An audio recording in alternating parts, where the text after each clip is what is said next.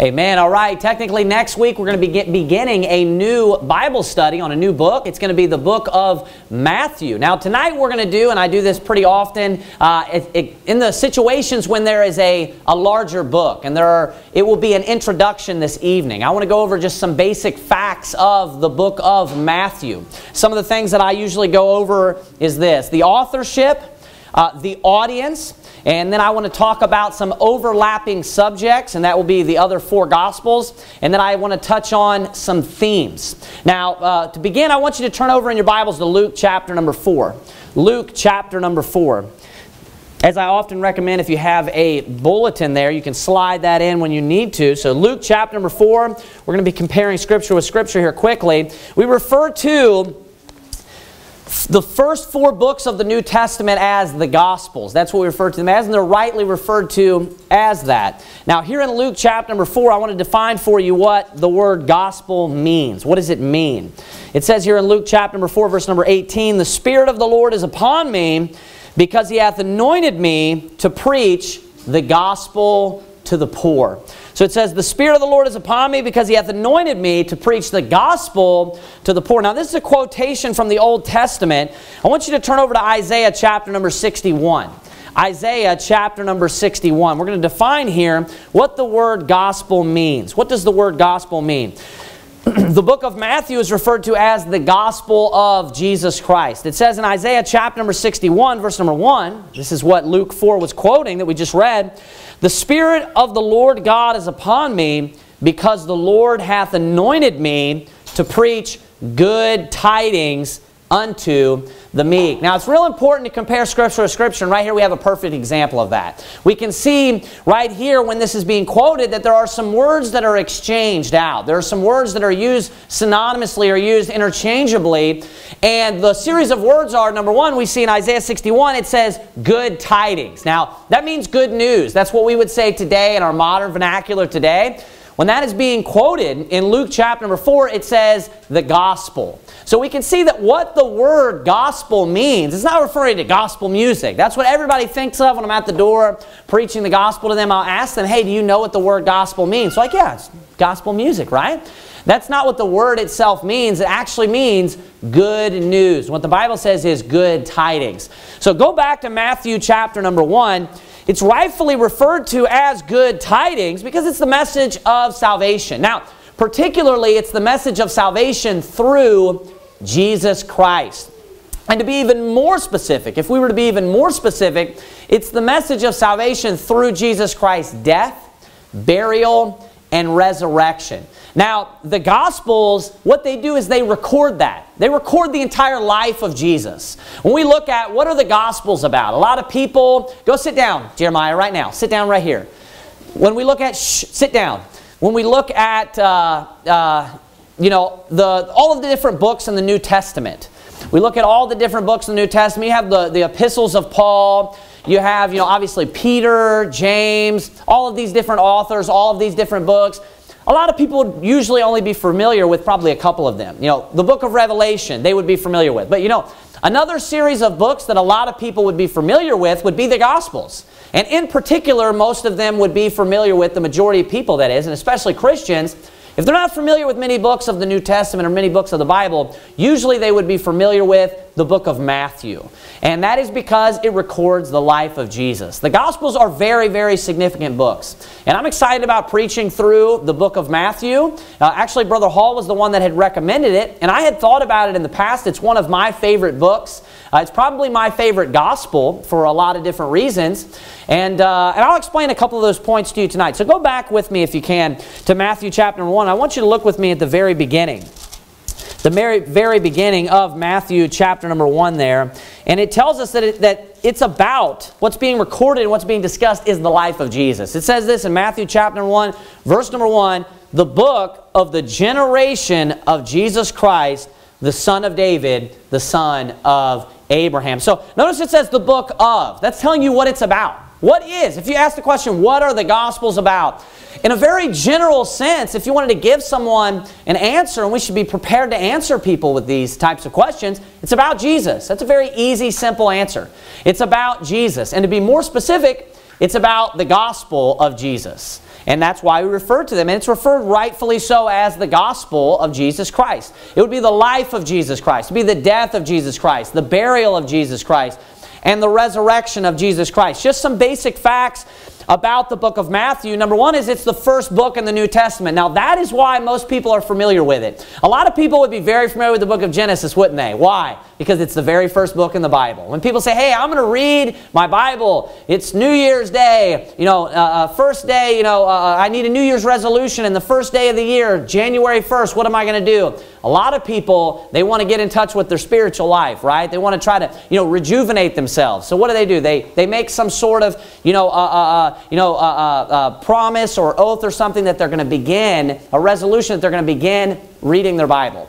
And where do they start? Either the very beginning of the Old Testament or the very beginning of the New Testament.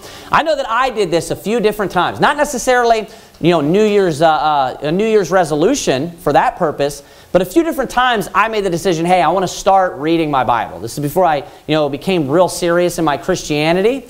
And I, I would always open up to the, I wanted to go to the New Testament, I would open up to the book of Matthew. I'd get about five, six chapters in at that time, and I would slowly dwindle out, right? I'd slow, slowly fall away. And a lot of people do this. That's one of the reasons why people are very familiar with it. So it's the very first book in the New Testament, and it is the 40th book in the Bible. That's good to know as well. In our Bible, it is the 40th book. There are 39 books in the Old Testament. One of the very important things about the book of Matthew, and one of the major differences, obviously it's the first book in the New Testament that has to do with the new covenant, but it records Jesus' appearance. And let me say this, everything in the Old Testament is pointing towards Jesus Christ. Everything in the Old Testament is pointing towards Jesus Christ and specifically his death, burial, and resurrection. Everything that's recorded as far as Scripture in the New Testament that is after the life of Jesus is just pointing back to Jesus Christ. Everything. It all has to do with the Messiah. It all has to do with the Christ. The whole Old Testament is just preaching about the coming of the Messiah. That's why it's so significant. It's, it's just building up and it's just giving you more information as time goes on about the Lord Jesus Christ to come. Obviously, the name was not revealed, but it's about the Messiah. It'll talk about things about the kingdom. Now, what does the kingdom have to do with it? Obviously, it pertains to the king. It talks about salvation. How does salvation come? It comes through the Messiah. It follows the line of the genealogy. And you have just random books like the book of Ruth. And you're like, why is this book in here? It's following the line of the Messiah who is to come. You have the discussions of the kings of Judah. And this real heavy emphasis put on the kings of Judah. You have David. You have Solomon. And you can see that it's clearly following a particular particular stream, a particular stream of, of, of uh, you know, ancestry. Why? Because everything in the Old Testament is pointing towards the Messiah. Everything. You get to the New Testament and bam, the very first book, you open it up, you know what it has to do with? The Messiah. So the book of Matthew is an extremely significant book. Now, one of the reasons why it's my favorite book would, would tie in with the fact that there's 28 chapters. And what I mean by that is there's a lot of information in the book of Matthew. You know, there are theories out there of, of uh, that comes from scholarship and all of these theologians that would say that the book of Matthew derived from the book of Mark because there are some similarities. But that's, that's you know, obviously we don't believe that. Obviously, each one of them were independent authors that sat down. One person wasn't copying another person. Those types of people, you know, that would believe such a thing, whether, you know, maybe some of them don't even realize it, but that's coming from an unbelieving mindset. Because I don't believe that, you know, Matthew sat down and was just copying Mark. I believe that the Holy Spirit, you know, endowed him with, with the Spirit for him to be able to write the words that we read. So we believe that this is inspired Scripture. It's the very first book that we have in the New Testament, which be considered, you know, a, a part of what would be called, like we were talking about earlier, the Christian Bible. There are 28 chapters. There are 28 chapters. It begins here in chapter number one with the birth of Jesus Christ. That's what we have in the very beginning of the book of Matthew. We have the genealogy there.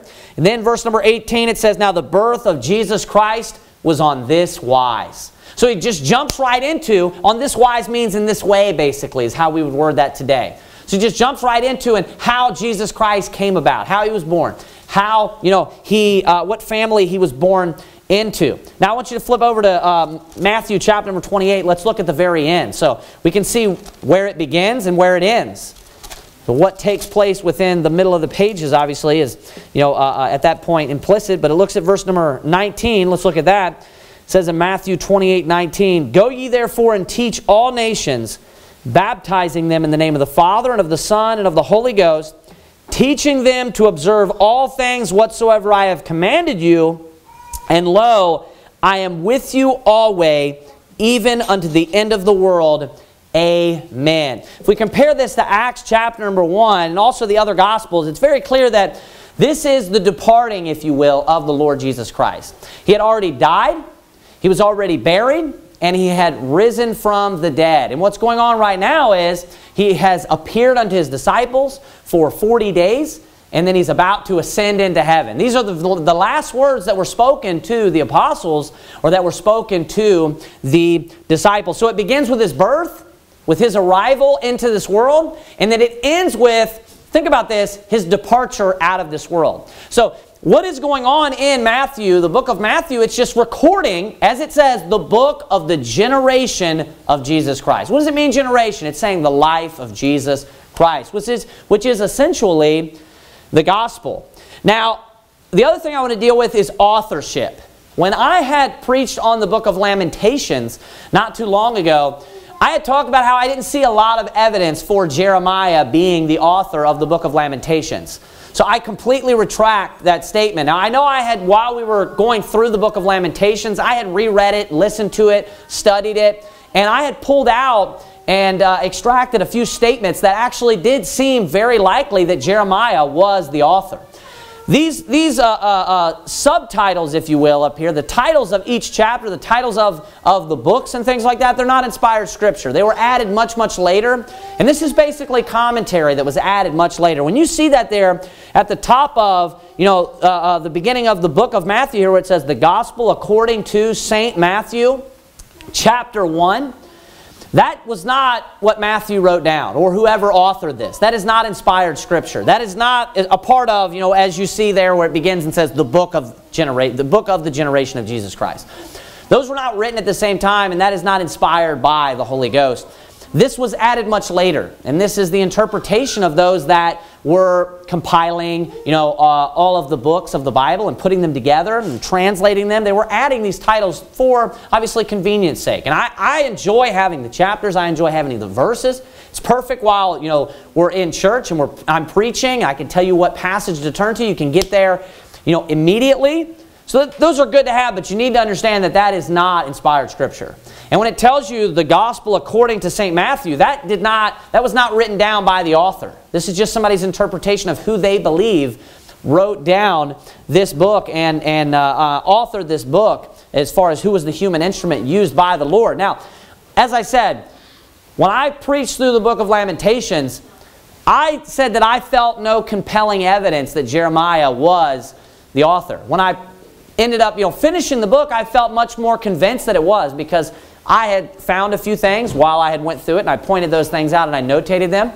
Uh, since then, I've read through the book of Jeremiah and I've, I've located a few other things that seem to fall in line with you know, Jeremiah being the author, other things as far as timing and, and things of that sort.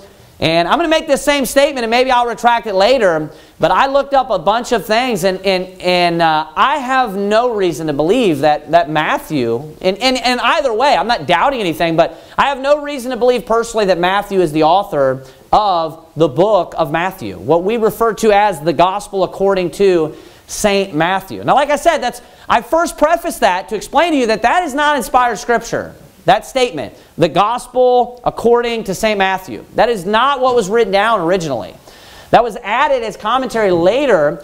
And I looked up reasons why people would think that Matthew was the author. It's purely tradition. That's all that it is. It's just tradition. And hey, maybe is it possible that tradition has been in some way passed down properly and accurately? Turn around, Jeremiah. Yeah, it's possible. But I am not going to hang my hat on something like that. And uh, this is a little bit different than the book of Jeremiah or Lamentations, book of Jeremiah and Lamentations. You can compare those two books. And we, all, we know for a fact that Jeremiah authored the book of Jeremiah. So you can go to the book of Jeremiah. You can compare quotations within that and then Lamentations, where the, the author is anonymous, where it doesn't, he doesn't announce you know, who he is. And you can try to work things out. But we have no other scripture where you know Matthew has authored it and he announces or proclaims that he is the author. So if you notice something, you know, let me know. I like to try to figure those things out. Just like I, you know, I feel like I've sealed the, uh, you know, uh, the fate as far as who is the author of the book of Hebrews. I think it's extremely clear that Paul is the author of the book of Hebrews. And I like to study those things out, and I think that sometimes they're, you know, God wants us to know, sometimes it doesn't matter.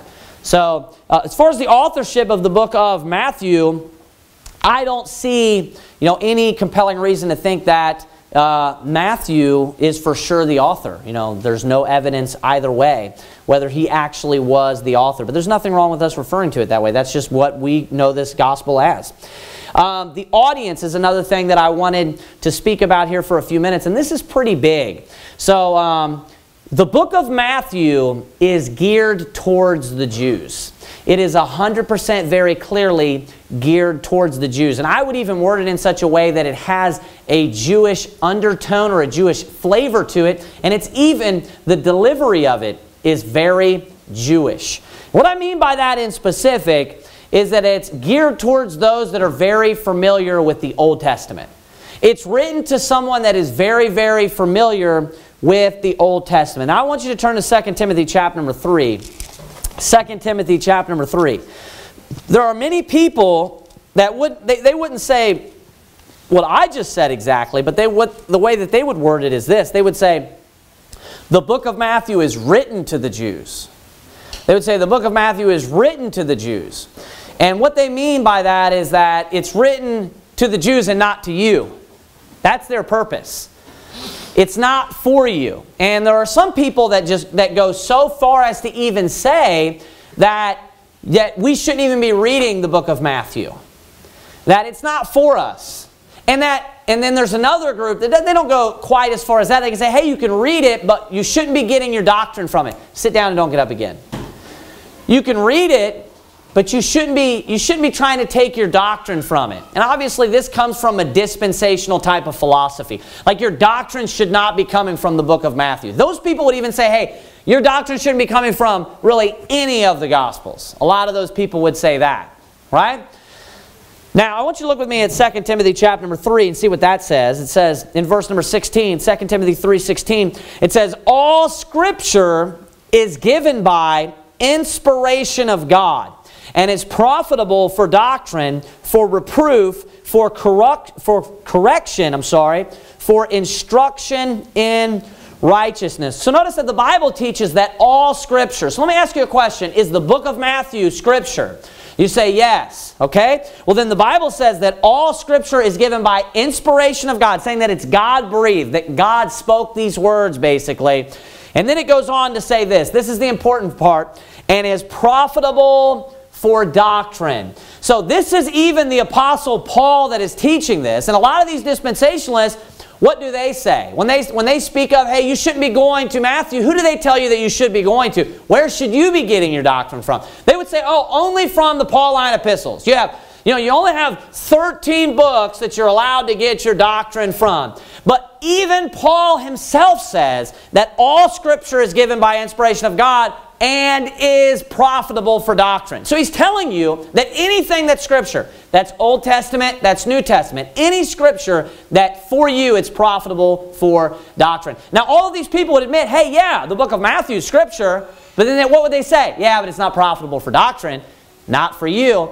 But notice how he makes it crystal clear, all Scripture Every bit of it. So can we derive, when we're studying and we're going through as a church the book of Matthew, can we learn doctrine from the book of Matthew?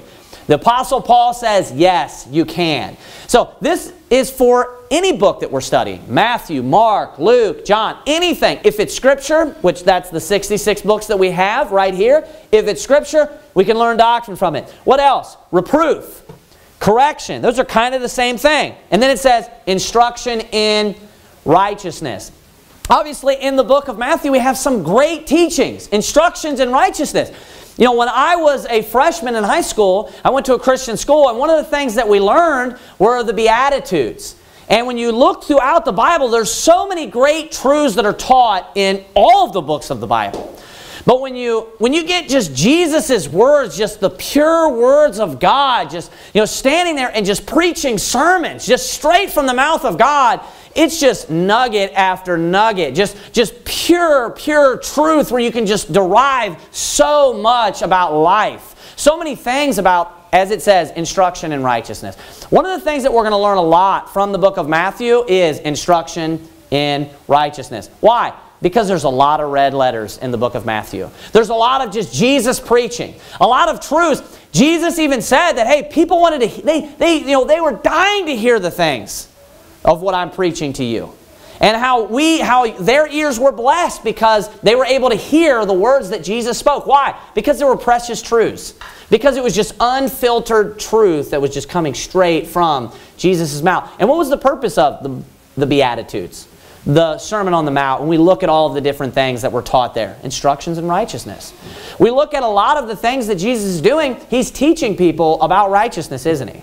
He's teaching them about how to live their lives all different types of things like that. So the book of Matthew is profitable for doctrine. It is profitable for reproof, for correction, and for instruction in righteousness. Go back with me to the book of Matthew. Another thing I want to point out, and, and this is going to kind of uh, uh, um, you know, segue us into the themes of the, uh, the book of Matthew.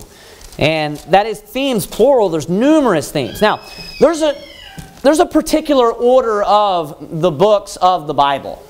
There's an order of the Old Testament and how the Old Testament books are laid out. And uh, I believe that it was, it was divine and that it was providential the way in which the books of the Bible were put into the particular order that they are in and the order that we have. You know, it's not a coincidence that begins with Genesis and ends with Revelation. It's not a coincidence. I believe that God's hand was in that and that He put them in that particular order when we were, you know, given and it was, you know, the stamp of approval and all of that, the, the translation, I believe He led that whole entire process to what we have today in the King James Bible. Now, if you look at the Old Testament, there's, and I don't want to delve too much into the Old Testament order. What I want to focus on right now is the New Testament. If you follow the Old Testament, uh, you know, there's, there's certain categories that the books are in. And it's very interesting that if you look at Malachi, I want you to look at Malachi chapter number 4. If you look at the book of Malachi, Malachi chapter number 4, he tells us in verse number 4, actually let's look at verse number 2. Malachi chapter 4 verse 2, this is the last book of the Old Testament and the very last thing that is said. It says this, But unto you that fear my name shall the Sun of Righteousness arise. Now watch this, with healing in his wings. Notice sun there is S-U-N. There's a lot of you know symbolism when it comes to you know the actual sun as far as the solar system with the Lord Jesus Christ. And I believe that's because the Creator, He did that in such a way that it would depict and symbolize the Lord. So it's obviously speaking of Jesus there, you know, the Son of God. And it says, And he shall go forth and grow up and ye shall grow, go forth and grow up as calves of the stall. And ye shall tread down the wicked, for they shall be ashes under the soles of your feet in the day that I shall do this, saith the Lord of hosts.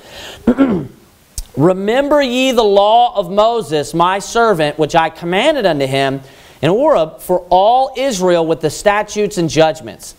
Behold, I will send you Elijah the prophet before the coming of the great and dreadful day of the Lord. Watch this. And he shall turn the heart of the fathers to the children, and the heart of the children to their fathers, lest I come and smite the earth with a curse. Now, let me ask you a question. As far as events occurring and prophecies to happen, after the last prophecy was proclaimed from the lips of an Old Testament prophet, it was pinned down. What was the very next event that took place? The very next event, prophetic event that took place. We can look at Matthew chapter 1 and we see words pinned down about the Lord Jesus Christ's birth. But was that technically the very first prophecy that was fulfilled and, and actually kicked things off? It wasn't, was it? What was the very first thing? The birth of John the Baptist. It was the birth of John the Baptist. Now, when we look there in Malachi chapter number 4, you see there at the very end, verse number 6, a statement about Elijah the prophet. It says, And he shall turn the heart of the fathers to the children, and the heart of the children to their fathers, lest I come and smite the earth with a curse. Now that's quoted in the New Testament about who? John the Baptist. In the book of Luke, that is quoted about John the Baptist. So it gives you a prophecy of the very next thing to come. It's in a very particular order. And the very next thing that happens is the coming of John the Baptist, who is the forerunner to the Lord Jesus Christ. So it's transitioning into what we would refer to as the New Testament scriptures. When you get to Matthew chapter number 1, it obviously begins with speaking about the Lord Jesus Christ because that's what all of the New Testament is going to be about. That's what the new covenant is about. If you flip over to Matthew chapter number 3, Right there you have the introduction of what we're waiting for, of what we're looking for, of what Malachi 4 spoke about, which is John the Baptist. It says, In those days came John the Baptist preaching in the wilderness of Judea. When we get in the New Testament, we have the Gospels that are laid out first in the order. So if we were to look at the different categories, the very first thing that we have is the Gospels. Now what is the Gospels? It's the good news. It's about salvation. It's about the death, burial, and resurrection. If you look at a Christian's life, what's the first thing that has to take place before you do anything? Are you going to church, is that going to help you before you get saved? No, of course not, right? What's the first thing that you need to do? Get saved. That's what you, you see encapsulated in, it's the message of the gospel or the message of salvation in the books of Matthew, Mark, Luke, and John. That's the beginning of a Christian's growth, the beginning of a Christian's life. You have salvation. Then what you see next is you have the book of Acts, right? Which is the Acts of the Apostles. It's having an example for the Christian. Once you're saved, then the next thing that you have is the example for the Christian. You know, when, when Christians start coming to church immediately, oftentimes they're not doing in the very beginning. I mean, there are exceptions, but most people that I've seen that when they get saved right away, they don't just dive you know, into the scriptures immediately. A lot of what they rely upon is the example of other Christians. So I believe what we're seeing here is this, is this you know, kind of evolution of the Christian life. The very next thing that we see is doctrine. And it's from who? You know, Paul, right? Who is the, in the New Testament, even Peter basically praises all the things that Paul writes. Who would be the perfect man? I mean, he's, he is, he's heavily trained and educated in the Old Testament scriptures and the law of the Old Testament. Who would be the perfect person to, to pick? It would be Paul, right? So God uses Paul, reforms Paul, you know, gives him revelations. He writes down he pins down doctrine. So you have salvation with the Gospels. Then you have the Acts, which is the example. Then you have the doctrine. The Christian begins learning the doctrine. Then do you know what happens with the next books that basically what you see and what all of those are about? It's about works. Now it's time to get to work. Once you have the head knowledge, then you put it into practice. Even within, this is why I want to point out, even within the end of Paul's doctrinal themed or doctrinal geared letters, it starts to kind of lean more towards uh, works. The book of Hebrews is the last book that Paul authors. And it's got a lot to do with patience. It's got a lot to do with enduring. It's got a lot to do with doing work and, you know, pushing unto the end, basically, right? You get into the next couple of books, the book of James. What is the whole book of James about? Works, right? First Peter, Second Peter, the trying of your faith. You know, the trial of your faith is, is patience. It worketh patience, right? First Peter, Second Peter. What about First John, Second John, Third John? All about works. You read through there, it's talking about loving your brother, loving your neighbor, right? Then you get into the book of Revelation, it's just like the end of, you know, the Bible. It's the perfect ending of the Bible. I believe that they're in a particular order. Now, I said all that to say this, the book of Matthew is the first of the Gospels. And I believe that even within that particular category, the Gospels are in a particular order. We're transitioning from the Old Testament to the New. At the very end of the Old Testament with Malachi, chapter number 4, it's heavily, it has a heavy Old Testament, Old Covenant type feel, doesn't it? When you get into the very first gospel, it is the, uh, very similar to the Old Testament. Of one of the themes, one of the main themes of the book of Matthew is the King of the Jews. It is that Jesus is the King of the Jews. I want you to look at Matthew chapter 1, verse number 1. It says this, The book of the generation of Jesus Christ. Now watch this. The son of David, the son of Abraham. So what is the overall purpose, number one, of the book of Matthew? Well, it's the life of Jesus Christ. But then it introduces him as, specifically, the son of David. Now, what is David known as? What do you refer to David as oftentimes? King, exactly. King of David, right? David the king. So it says, the son of David. So what do you think of there? Royalty. He's the king. He's, he's known as the king. What do you think of when you think of Abraham? Father of what? The Jews. He's the father of the Jews. What you have there is the theme of, the overall theme of the book of Matthew, right there in the very first verse. The book of the generation of Jesus Christ. It's about the life of Jesus Christ, who is what? The son of David, who is the king, who is what? The son of Abraham, who is the father of the Jews. It's the king of the Jews. That is the overall theme of the book of Matthew. When you break down how these 14 generations are broken down, that's how the generations are broken down into groups of 14. It breaks it down the same way. It goes to David, and then it goes to Abraham at the very, well, that's where it begins with Abraham, and then it goes to David, and then it goes to the other 14 generations here. And it, and it highlights the fact that David is the king in verse number 6, and Jesse begat David the king. So we can see that emphasis right there uh, on David being the king. One of the other themes, as I said, the coming of Messiah, but particularly the king of the Jews. It's the transition from the old covenant to the new covenant. So it makes perfect sense that within the very first book, it's going to begin to transition. It's the most, it's the most Jewish book of all of the Gospels. It's heavily Jewish. Now, in what way do I mean that? The book of Matthew quotes more Old Testament scripture than any of the other Gospels. And it's like the top, one of the top five uh, of all of the books in the New Testament. It's one of the top five that quotes. It may even be top three that quotes more scripture than any other book in the New Testament is the book of Matthew. It quotes more than any of, any of the other Gospels. So which of the four that quotes scripture the most is the book of Matthew. It quotes more Old Testament scripture than any other book. Uh, another point is, what we're going to see, a theme, is the rejection, Israel's rejection of their Messiah. This is huge. This is a huge theme throughout the book of Matthew. It is Israel's rejection of their Messiah. The other thing is this, the rejection of Israel. So in return, you know, uh, in response to Israel rejecting their Messiah, Israel rejecting God, one thing that is taught in almost every parable. Let me go ahead right now and you know burst the bubble and go ahead and unlock all of the dark sayings of Jesus Christ, almost all of them in the book of Matthew because there's a ton of you know parables in the gospels. And what almost all of them are about, the interpretation of almost all of them is is Israel being rejected by God. Israel being replaced, if you will. That's the interpretation of uh, very, very many of the parables. And that's a big, heavy theme throughout the book of Matthew. Uh, another thing is we're just going to read about proverbs and parables that are spoken of. I mean, just about every other chapter at the very least, there is a proverb or a parable, and they're referred to as dark sayings. So the parables that we know of, we can also refer to them as, as proverbs, and Jesus himself says that he's speaking in dark sayings. So that's what a parable is. So there's a lot of proverbs and parables. One thing that's talked about a lot in the book of Matthew is the second coming of Christ.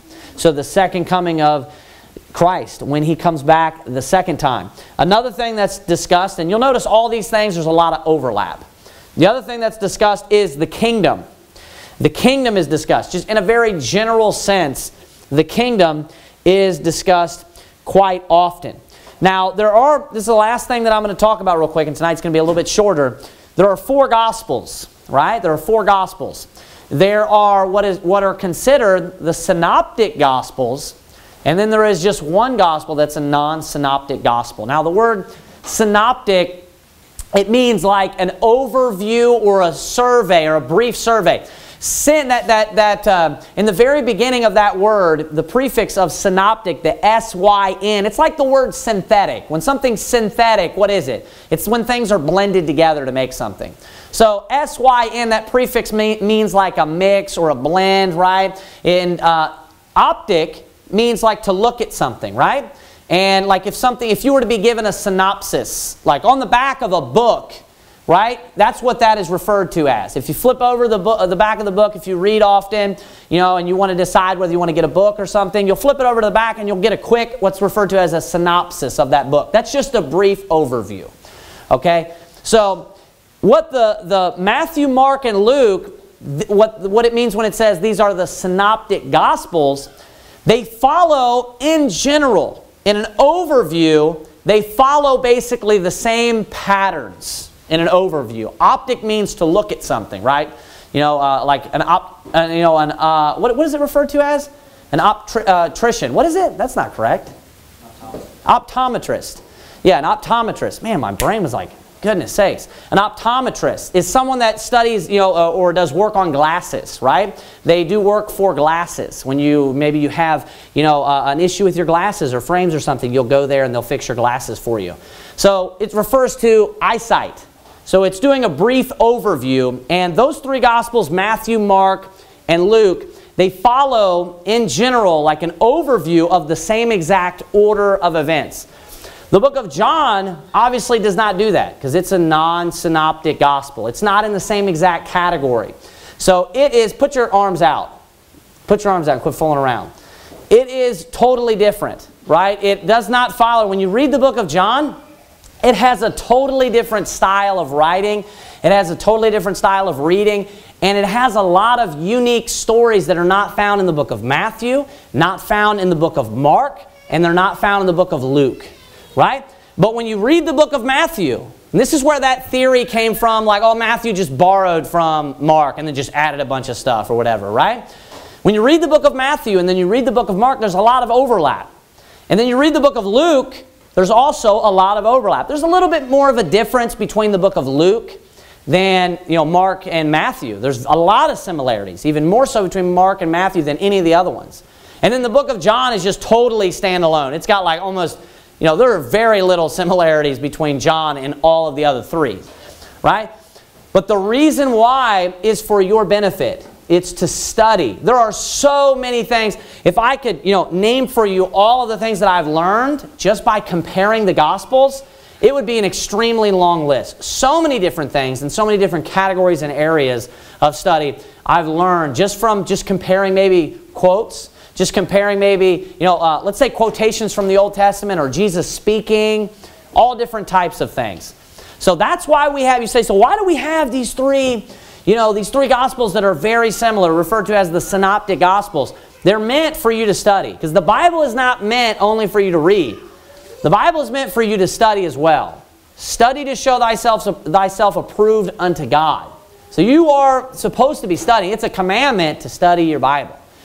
So Matthew is the very first of the synoptic gospels and personally myself, you may, you know, differ. Obviously, this is just a matter of opinion, but my favorite gospel period is Matthew. So of course, of the synoptic gospels, my favorite gospel is by far Matthew. And the reason why is because is why I'm excited to start preaching about this next week is because it includes so many different areas of teaching. There's so much in there's so much in all the gospels, but particularly the book of Matthew covers so much ground. And as I said, the overall theme that I want you to pay attention to is this the King of the Jews. Now, when I went through that list of themes, this is the last thing I want to say, you would have noticed that everything that I said afterwards, I said, hey, here are some of the other themes, plural, right? Everything that I said after the King of the Jews tied in with that. When I talked about the kingdom being offered, the second coming of Christ, the, you know, Israel rejecting the Messiah, uh, uh, and then the, you know, God rejecting Israel. All of these things tie in with, in some way, Jesus being the king of Israel or Jesus being the king of the Jews because that is the overall theme of the book of Matthew and you're told so right there in Matthew chapter number 1 verse number 1. So this week was more so of a Bible study even than you know the next 28 weeks will be. Just kind of giving you some basic principles on what we're going to be getting into, giving you even more so of an overview and things to look for. And uh, so next week we will be, be beginning in Matthew chapter number one in our Bible study. Let's close in a word of prayer. Heavenly Father God, we thank you, dear Lord, for the Bible. We thank you for the Gospels and, and recording your words and all the great teachings that we have. Help us to be diligent students, dear Lord, of your word. Help us to love your word, all of it, dear God. Uh, help us to learn much while we are going through as a church and studying. Uh, help us to be intent, attentive to all of these things uh, uh as we are uh, going through the word of God. We love you so much and just be with us. Bless all the people that are here tonight, all the families. And in Jesus Christ's name, amen.